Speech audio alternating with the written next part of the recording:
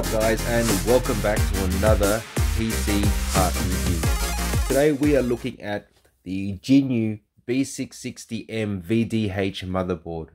This is a 12th gen M-ATX motherboard. Now JGINYUE was nice enough to send me a trial motherboard for me to test out. This is going to be an honest review on the JGINYUE B660M VDH motherboard. Straight off the bat, presentation is as you would expect. It comes in this nice little box and you get a SATA cable as well as your IO shield. The motherboard itself came on top of this uh, foam piece and it was underneath this in a anti-static bag. That's definitely what you want when you're buying a motherboard an anti-static bag. Definitely no complaints with presentation. It was definitely presented very well. The detailing just as you would expect from any motherboard. It has the chipset on here and it tells you the type of CPU that it takes which is the LGA 1700 the brand is JGINYUE and these are the typical features of this motherboard. Going straight into the motherboard, we are presented with a white background PCB board. Definitely different to your typical black or grey. And pleasantly surprised with the presentation of the motherboard. It is a 2DIMM motherboard, meaning that it only has two channels for your RAM so it still runs off dual channel and it is a DDR4 motherboard. It has all your typical connections. Um, you still have PS2 connectors here as well as a DP port HDMI and a VGA in total you have four USB 3.0s two USB 2.0 your Ethernet port and your typical mic line out and your speaker port it has a reinforced PCIe times 16 slot for your graphics card. That's a good bonus right there. And it also has this heatsink for your motherboard and heatsinks for your VRMs. I believe that's what that is there. Your capacitors showing. It also has a M2 slot for NVMe or NGFF and it also has a M2 Wi-Fi slot as well. It has four SATA ports, so you're able to install four unless you use a external SATA controller. A very decent motherboard. Looking at the back here, the board itself isn't warped. Very straight and the solder points are definitely solid. Yes, they could be a little bit smaller, but I would rather have a solid solder point than have it a little bit smaller and have a chance of it breaking and then losing connection. Definitely a solid motherboard here. The LGA 1700 socket here is also of great quality. You can see it has the typical four torque screws and your lever here is definitely very strong. We push down, let out to the right and lift. We have a lever here, you pull on back and looking at the socket no bent pins. Very very nice. Very impressed thus far with this JGINYUE B660M motherboard. Definitely a contender when comparing it with every other B660 motherboard. You have your typical HD audio port. You have your COM1 port. Then you have your front USB port here you also have your USB 3.0 port right here, so that's good. When looking at a motherboard, you want to take note of your features, what one has to offer compared to all the other motherboards on the shelf. And although this isn't a typical brand motherboard that you would find in a typical retailer, you would still want to compare it to a typical motherboard that you would find in a retail shop. Have a look at the features that's, that this has to offer compared to something like say an MSI or, a, or an Asus. We have a 8 pin CPU port here, which is good. I would rather the 8 pin rather than just 4. That way you are able to overclock better because you're able to produce more power to your CPU. You also have your 24 pin ATX right here. The positioning of it is is fine. I mean, usually the 8 pin sits up here, but that's okay. You have your CPU fan header here, as well as another system fan next to it. You also have another system fan here down at the bottom, which is only 3 pin, but that's fine. Everything seems to be as you would expect. And another bonus is that it has the LED debugging right here. So you can see you've got LED boot, LED GPU, LED DRAM, and LED CPU. So if any of these are lit up when you boot, you know that there is a problem with that specific hardware. At the bottom here, we can see that we have a PCIe times 1.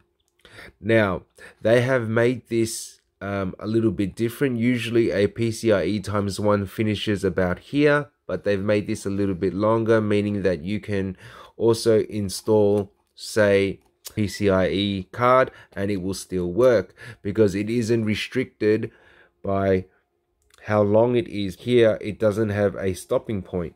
Here is a time 16 slot that you would normally plug into here, right?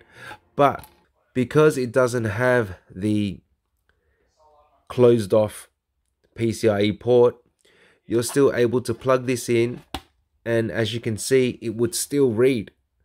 It's really just designed to hold a PCIe times one. I am definitely impressed with this motherboard. It seems like a lot of thought has gone into it. They didn't just wing it and throw together a motherboard that they could sell. Definitely feels very solid. Just the way everything is presented. There was a thought process when designing this motherboard and I would definitely recommend it. I mean, if you are looking for a motherboard on a budget that will still be able to perform in every way, just like any other motherboard on the market, considering a JGINYUE B660M for your 12th or 13th gen CPU is definitely an option. Very impressed with what they have come up with when it comes to a M-ATX motherboard that has two DIMMs for your RAM and four SATA ports as well as an M2 slot and a Wi-Fi M2 slot as well. The one real drawback is that it doesn't have any ARGB headers. That is just the one thing I have to point out. I'm just going to put this together and uh, we will run it and see just how well it performs. If there is a difference in BIOS design, how it all comes together overall. Let's open this up. Open this lever up. As stated earlier, this is the 12400. Remember, there is a triangle on here, so match that to the triangle on your cover.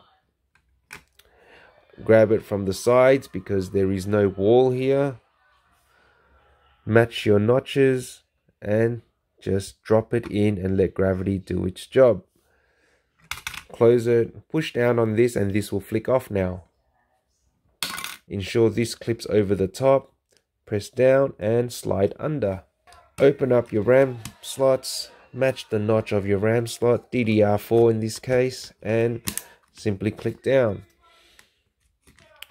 Do the same other RAM slot, install our M2 SSD. I'm just going to leave it like this just to ensure that it reads, but we are basically going to be running this SSD with the games on it. To install the 12th gen standard CPU cooler comes with its own thermal paste already. What I like to do is instead of waiting to turn all these, I do them all now. To install it, all I do is simply just line up my screw holes like so, right? And then I just push down and let it click. When you hear that click, you know that it is successfully seated. Four, then simply plug this in CPU fan number one, which is that one right there. SSD installed, RAM installed, CPU fan cooler installed. CPU, ATX, power cable. Let's jump it. We can see that it is powered by Onda. It is great to see that the BIOS user interface has updated to this type of interface. I was going to be really disappointed to see if this was that blue screen. That would be not very good at all. Have an interface that is user friendly and also easy on the eyes. Double check everything is the way it's supposed to be. RAM is running at 3200 megahertz, 16 gigabyte RAM, so that's great. It's good to see that it can run Windows 11. Let's run 1080p. We can even go to 1440p here. This is the recommended resolution 16 by 900 because that is the native resolution of this exact monitor. So let's just select 1080p for now. Open up say Destiny and let's just see how well it runs. Alright, let's just run a quick game and uh, see how it goes.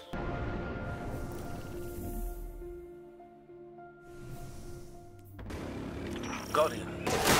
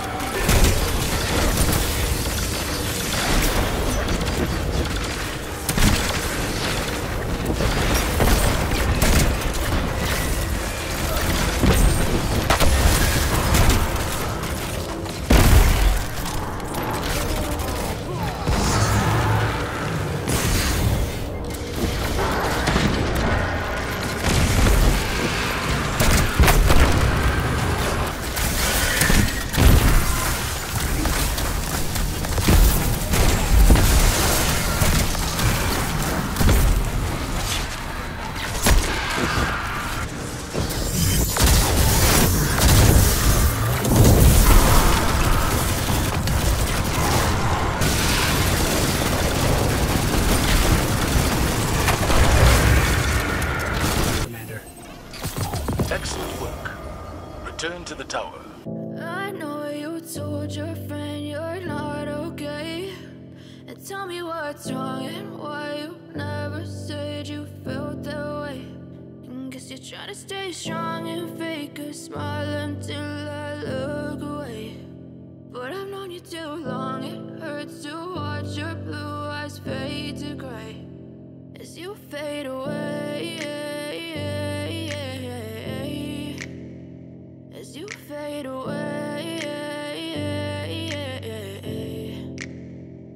I'm about to fade away. Cause every time I wake up I feel like it's Monday. Something's going wrong with all the chemicals up in my brain. All of a sudden I don't look at anything the same way. Gotta build up of my thoughts sitting in an ashtray. I'm sorry that I'm so inconvenient, okay. Just let me be me and I'll stay out of your way. I can see the way you look at me, I'm such a disgrace. I never really asked to be brought into this place. You wanna love me well then baby have a taste. All the highs and the lows, no you'll never be the same. I don't really wanna hurt you but I can't control the pain. If you're sticking by my side, maybe we could be okay. Okay, okay, maybe you could be the change I need today. I promise that I've never felt this way. I really hope that you will choose to stay through all